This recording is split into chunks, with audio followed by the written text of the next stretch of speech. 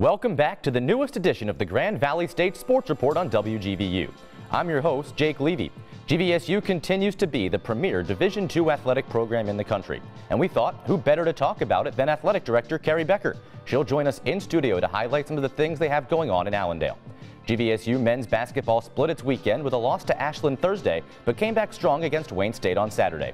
Head coach Ric Wesley stops in to talk about his team. GVSU women's basketball has been locked in from the get-go this season. With two wins this weekend, associate head coach Phil Sayers joins us in studio to talk about their team. This is our last show as we head into holiday break. We'll be back on January 7th with all new episodes. In the meantime, we encourage you to head to gvsulakers.com to get great stories and game recaps on all Laker teams. Lock it in, Laker Nation, as the Grand Valley State Sports Report starts right now.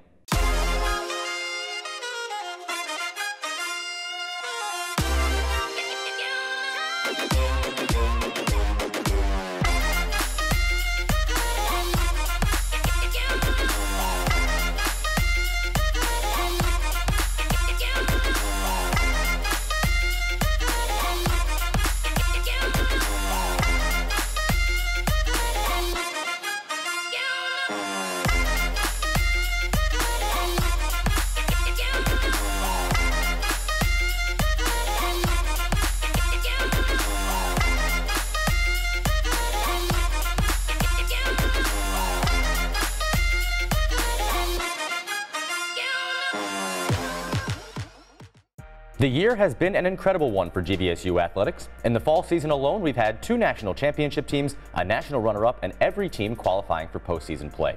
Here to talk about GVSU and everything around the athletic department is athletic director Keri Becker. And Keri, let's start right there on the field. What a phenomenal start for the teams this year. Wow, I just had to hold my breath and hold on and, and then just watch. Get out of the coach's way, get out of the student athlete's way and just watch and enjoy what I was seeing out on the field in terms of soccer and men's women's cross country. And it was a, in football with every team making the postseason. It was an exciting one. Let's start with that football team. A 10-win season for those mm -hmm. Lakers. Have a senior in Bart Williams, a great senior class. Tell us about that football team this year.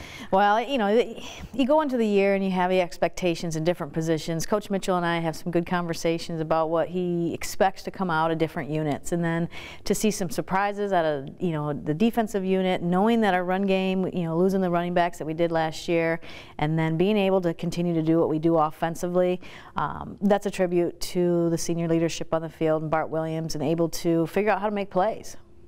Now let's go to the other three teams that got to go to mm -hmm. that fall festival in Pittsburgh. You were there. Tell us about that experience. Oh, it's a great one. I love the fall festivals a Division two do, especially when we can have multiple teams there. Men's and women's cross country qualified for the national championships. Soccer made another run to the Final Four and into the into the runner-up position. And when you can do that all one weekend, uh, it's a little bit chilly, but when you're running around on the cross country course and then you get involved in the excitement of the soccer game, you kind of forget that it's 35 degrees. How about the staying power of those two programs as well? Jerry. Baltes now with 11 national championships between track and cross country, mm -hmm. and then. Jeff Hosler, 17 new faces this year, and still they find their way back to the Final yeah. Four. You know, that, again, that's a tribute to the coaching staff and their ability to continue to recruit quality student athletes who come here and have a great experience, perform on the field uh, athletically, academically, and just are good stewards of the Grand Valley brand. And so, same thing with Coach Hosler, To be able to sustain success is really hard. Uh, there's one thing about climbing your way to the top. There's a certain other um, difficulty with staying at the top, and it's a tribute to their ability to do that with uh, new faces and team cultures, um, with uh, retaining senior leadership. Um, you know, when you think of soccer, a very young squad, with uh, Tara Learman being kind of the lone senior, getting a lot of playing time. It's very optimistic in terms of the future. And then Jerry and, and Aaron, Jerry Baltes, Aaron Watson's ability to sustain and find those runners and, and then develop them. From It's amazing to watch their maturity uh, physically from their freshman year to their senior year uh, and just do a, continue to do a great job. So we talk about on the field stuff, but off the field is just as important as mm -hmm. part of the mm-hmm. student athlete at Grand Valley State. Mm -hmm. The mm-hmm. academic success rate came out last week, number one in the GLIAC. What does that mean to you?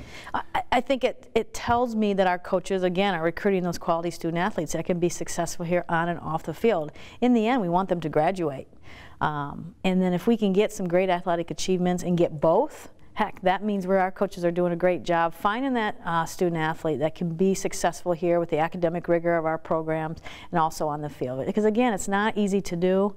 Uh, so we try to, you know, as administrators, we try to give our coaches uh, the resources they need to give our student athletes the best chance for success both on and off the field. And that's evident by the efforts of the student athletes utilizing those resources, but also getting it done in themselves seven teams with a 100% success rate, and then mm -hmm. every other team above the average of the mm -hmm. GLIAC. So mm -hmm. to be as successful as we are on the field and mm-hmm. off the field at the mm-hmm. same time, that's not an easy thing to do.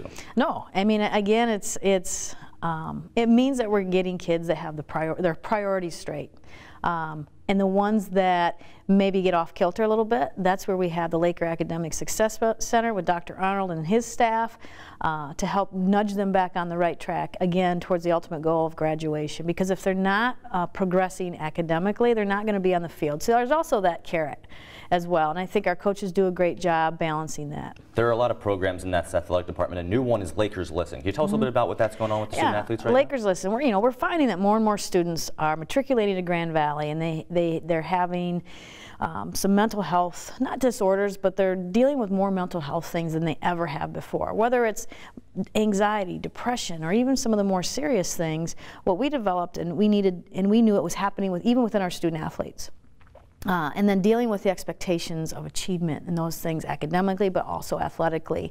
We wanted to, Gretchen Goodman, our athletic healthcare administrator, with the work of our Student Athlete Advisory Committee, uh, put together uh, a Lakers list and a platform where student athletes are talking to student athletes. And it's a space where they can have these conversations and know that they're not alone. To take the stigma away from mental health issues and, and giving the student athletes the resources and the tools they need to cope with the expectations they place on themselves and I think others place on them, whether it's parents or peers.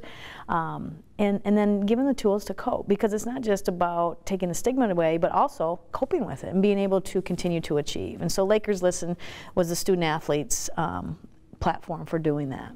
And then finally, Keri, I couldn't let you get out of here without talking about the great partnership that our athletic mm -hmm. department has with Make-A-Wish. Mm -hmm. All the great stuff. We saw that awesome wish reveal at mm -hmm. the mm-hmm. football game. What does mm-hmm. that partnership mean to you in this athletic program? One, I love that we give back locally. That means a lot to me. And, I, and the fact that our student athletes uh, want to give back locally, to be able to make a, be a part of the overall Division II effort of Make-A-Wish nationally, but their efforts to give back to the Michigan Make-A-Wish uh, mean a lot. And, and then for them to see it uh, in the in the eyes of that little six-year-old what that all that time and effort that goes into and, and, and I think it rejuvenated the SAC and I think the Student Athlete Advisory Committee is well on their way and I think it has already hit their $10,000 mark. So getting ready to hopefully do another reveal. And that just, it fills the hearts of our student athletes.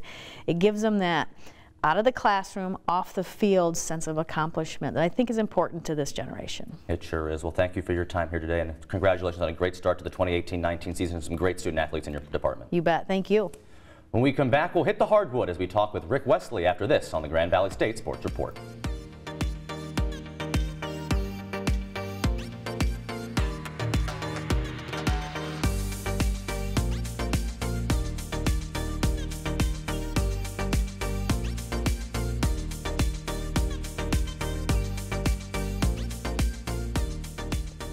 The number 24 ranked GVSU men's basketball team split its weekend with a loss to Ashland Thursday, but finished up with a dominant performance against Wayne State on Saturday. Here to talk about his team is head coach Ric Wesley. And coach, let's start with that ranking. Congratulations in the national polls for the first time this year. How does that feel?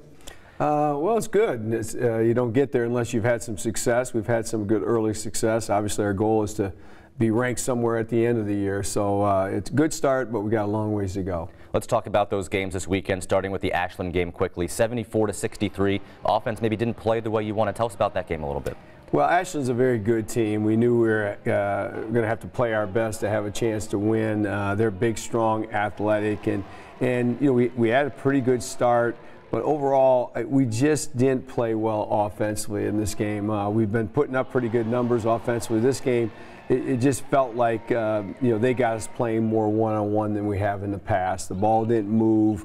Uh, we just weren't crisp in anything we did. And, um, you know, against a good team like Ashland, that's that's not going to get the job done. Sometimes something like that, though, can be a wake-up call. Do you feel like that was maybe the effort for this team this week? Well, no question. I mean, and even this game, to our guys' credit, uh, we got down, but we came roaring back. Uh, we cut it to three, I think, with two minutes to go and had a chance.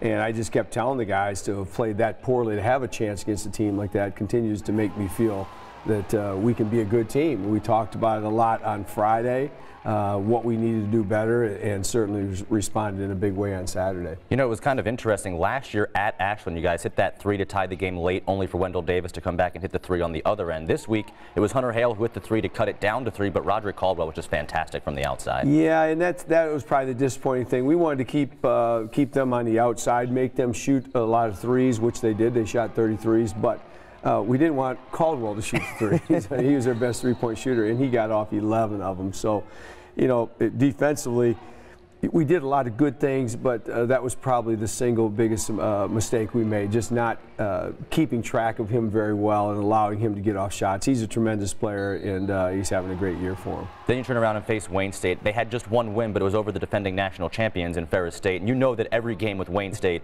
is a knockdown, drag-out game. So to beat them by 33, that's did you see that coming? Yeah, no, no way. Yeah, yeah I mean, uh, and even their record, I, I, that meant nothing to me. I mean, they, you look at the scores that they've played. Uh, they've been in every game. They, they had a tough game with Davenport at Davenport on Thursday. So uh, we expected this to be a typical uh, knockdown, drag-out affair with Wayne State, and and our guys just really played well. Probably our best game of the season in terms of um, just overall offensive execution. We really shared the ball well. Everybody that came in, Justin Greason came in, had a tremendous game off the bench.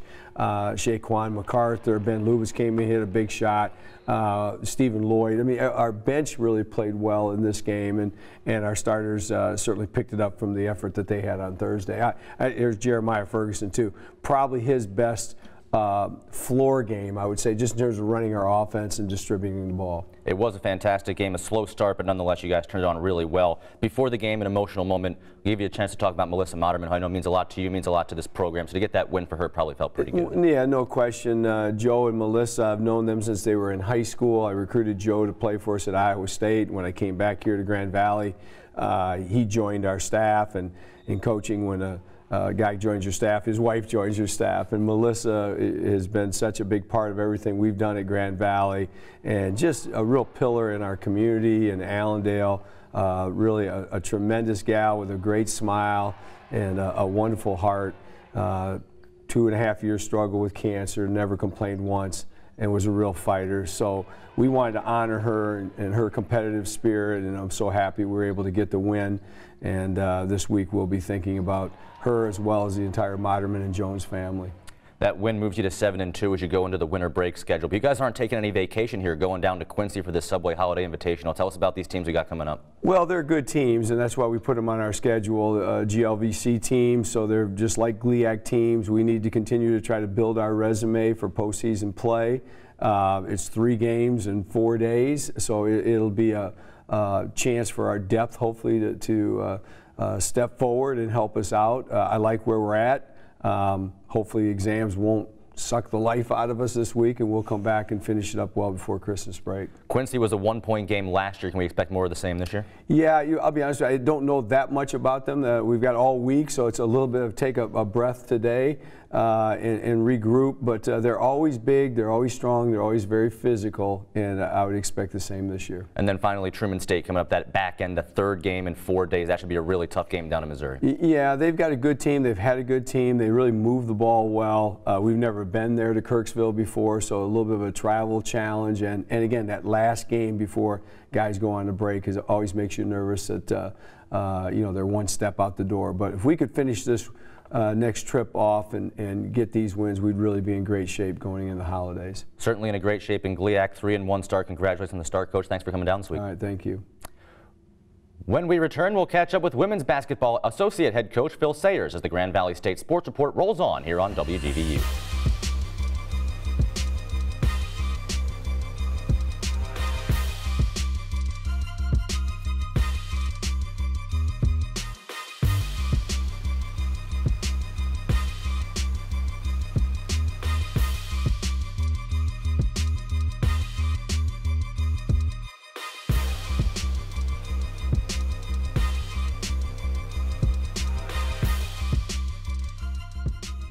The GVSU women's basketball team did it all this past week as they cruised to a huge victory over number one ranked Ashland Thursday, then kept the good vibes going with a win against Wayne State Saturday.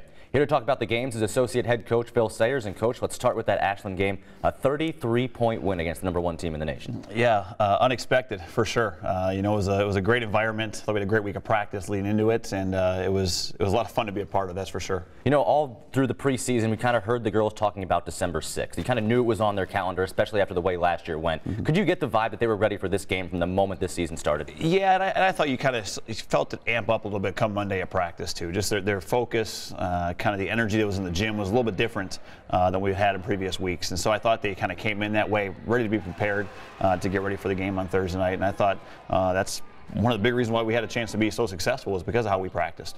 One player that really stepped her game up, Jen DeBoer, and she was maybe one of those players that had that Ashland game circled for a while. She comes out, hits six threes, had 32 mm -hmm. points. What can you say about your junior point guard? Well, she keeps stepping up, and she continues to be challenged. You know, here's a kid who, who last year against Ashland had a game where she was 0 for 3 and didn't score at all. Uh, you know, last time we played them at, at, at, home. And so for her to come out with a 32-point game, I thought she just had an edge to her. I thought she had a confidence in, in what she did. She really hunted shots early uh, and kind of looked to get to the basket. And I thought that she just she controlled the tempo of the game too, with their pressuring defense uh, to, to do what she did, taking care of us, getting us into what we needed to, needed to run. I was really impressed with her and just her, her consistent level, and then defensively what she did as well. I mean, we look at those points and it's one thing, but I thought the job that she did defensively on their point guard uh, was outstanding as well. Yeah, you look at that hot start, jump out to an 8 nothing lead all of a sudden. That had to be huge in a game like this. Well, it is. I think you start to, all the outside noise that has been created by everybody about this game, to come out and kind of play so so great from the beginning, which we hadn't been doing well uh, at all. Uh, our last four games, we weren't playing that way, and so to come out with that start was, I think, key for our kids to feel confident,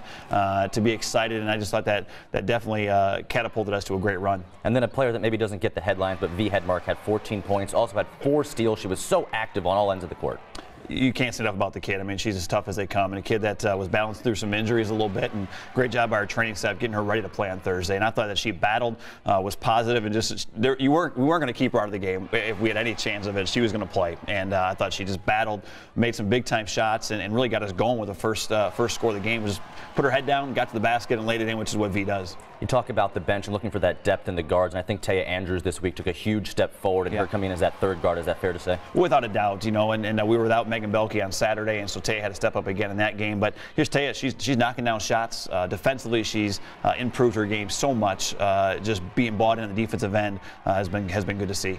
The Lakers win 94 to 61 over Ashland. You worry about a little bit of a hangover after a win over the number one team in the nation, but none the case. 73 to 42 over Wayne State. Were you very proud of the way your girls responded and came back to get up to play on yeah. Saturday? Yeah, for sure. I wasn't worried about them being excited to play. I was worried about how our bodies, bodies respond and our minds respond, just the emotion that went into Thursday night. And I thought Coach Mike did a great job on Friday at practice of really calming back our bodies and just kind of really walking through a lot of things, which isn't the normal. We normally go shorter on Friday, but uh, we went uh, we went pretty light and just kind of mentally walked through some things in his own creative way uh, to get us ready for Saturday. And I thought our kids responded. Uh, they were bought into the scouting report for Saturday's game, and to come out again, another great start. You know, another great start in that game uh, was really important for us. And we got a couple rolls off the, off uh, some shots to start off with, but it was great to see Maddie Daly uh, score after a game on Thursday where uh, she wasn't great offensively, but held the Player of the Year of the nation last year to, to, to 10 points only. She came out and really did a good job of asserting herself in the paint uh, and getting herself active around the glass, which was fun to see. Yeah, it was a great turnaround for her, and it was a 20 to 6 start after the first quarter, so a great start for the team, great start for Cassidy Boensch. And I, I withheld talking about her for the Thursday game. Have to save it for the triple double she had on Saturday. Coach. Yeah, forget just the double double she had on, uh, on Thursday night. But yeah, it comes out with a triple double, first one in a, in a long time here uh, with blocks, uh, points, and, and, rebounds. And, and honestly, um, was four assists short, uh, four assists short of that quadruple double. And uh, watching the film, we actually had two or three chances to get her some some more assists, and we just missed some shots and missed some layups. But it would have been funny to see that. But you know, a kid that just asserts herself so so well and doesn't try to force things, and such a good becoming such a good passer for us now too. Uh, she's talented, and uh, and we're thankful that she's here with us. Yeah, I think that's seven straight, at least double doubles now, and throwing a triple double as well. She's been incredible. All right, so now you carry into the winter break schedule. You've got two non-conference games. Coming. Tell us about Central State. Yeah, Central State's really athletic, uh, really athletic. Love to pressure the ball on defense. We're going to get ready for that this week as we kind of scale back a little bit with finals happening.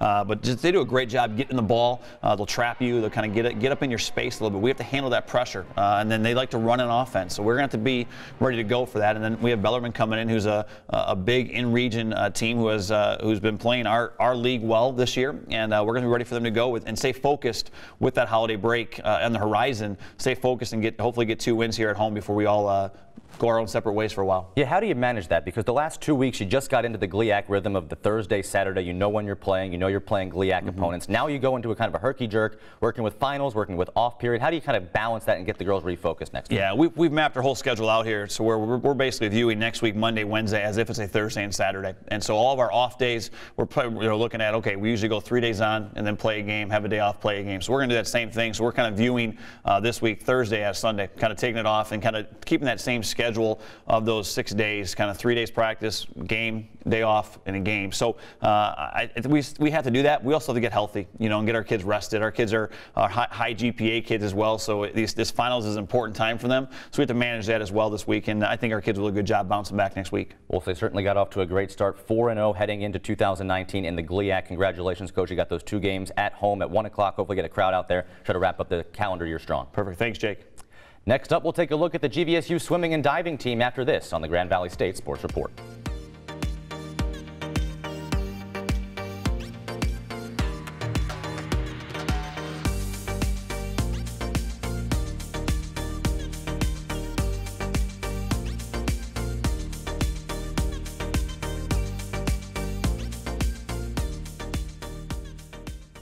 The GVSU swimming and diving team heavily recruits international students in its efforts to continue to be one of the best programs in Division II.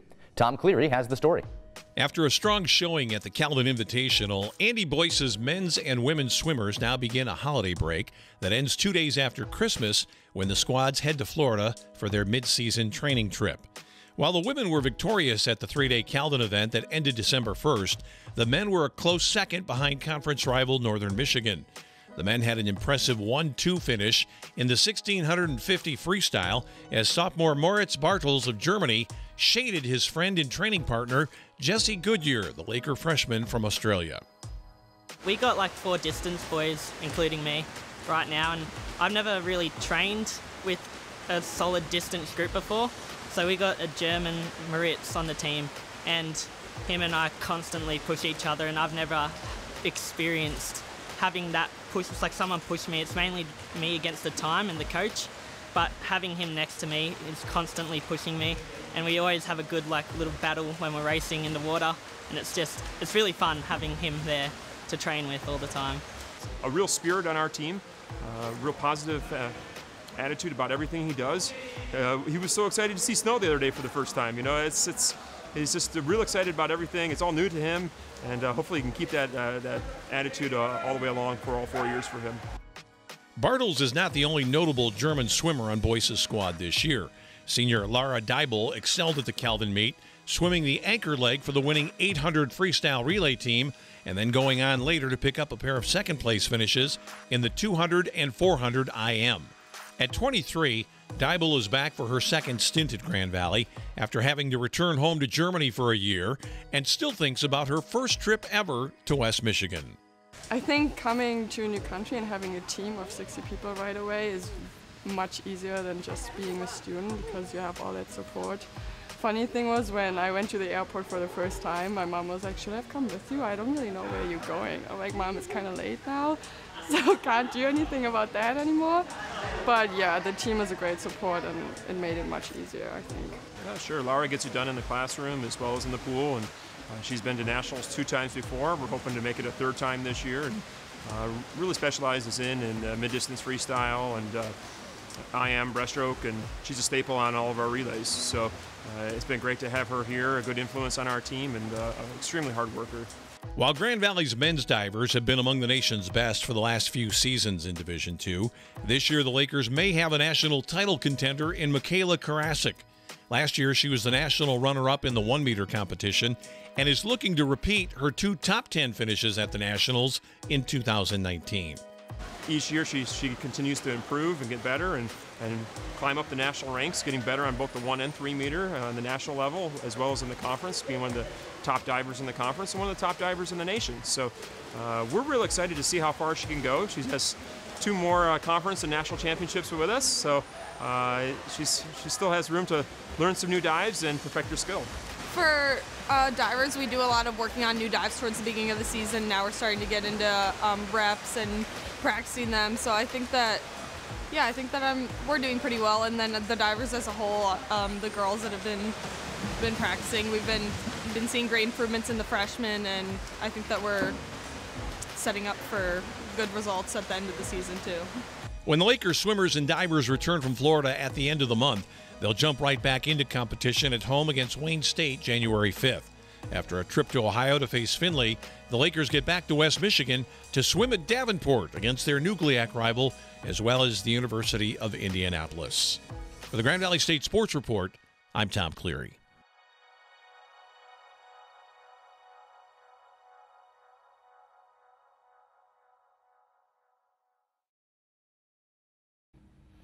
That's all the time we have this week on the Grand Valley State Sports Report. GVSU women's basketball will take on Central State on Monday, December 17th. The men's basketball team heads to Quincy, Illinois for the Subway Invitational this Saturday, where they'll take on McKendree, then take on Quincy on Sunday. GVSU swimming and diving will return to the pool on January 5th to take on Wayne State. The track and field team will be back at the Kelly Family Sports Center on January 11th for the Bob Eubanks Open. For a complete schedule of all Laker games, as well as stories across the entire athletic program, visit gvsulakers.com. To see more of this show, head to our YouTube channel at youtube.com slash WGVU35. Make sure you hit the subscribe button to get updated video and highlights all year long. This show will return on January 7th to bring you more of the Grand Valley sports you love. For the entire crew here at WGVU, I'm Jake Levy. Have a great week, Laker Nation, and anchor up.